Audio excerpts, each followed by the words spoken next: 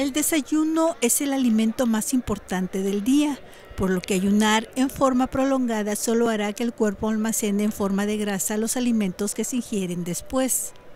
El coordinador de nutrición y dietética del Instituto Mexicano del Seguro Social, Alejandro Jiménez Ortiz, consideró importante que no se realicen ayunos prolongados, sobre todo al momento de comenzar con un régimen o plan alimenticio para bajar de peso. Explicó que estos ayunos sí condicionan una baja en el peso, pero después de un mes el organismo se acostumbra, se genera un cambio en el metabolismo y comienza a almacenar grasa. A esto se le conoce como gen ahorrador.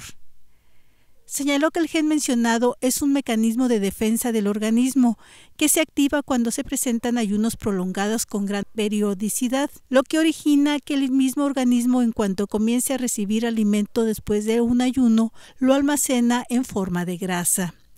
Indicó que el ritmo de vida actual ha implicado que los hábitos alimenticios se hayan modificado en forma negativa en cuanto a la calidad y cantidad. Dijo que es muy importante que una vez que despertemos y nos levantemos de la cama, el primer alimento se realice en un lapso no mayor a dos horas, ya que nuestro cuerpo tiene memoria y cuando ayunamos por periodos largos, lo que se genera es que se coma en exceso y origina que el cuerpo almacene toda esa energía como grasa porque está preparado para el próximo ayuno y eso provoca que en lugar de disminuir se aumente de peso. Finalmente recomendó que si no se tiene tiempo para preparar un desayuno completo y en forma, este sea sustituido por algo de fruta o algún lácteo.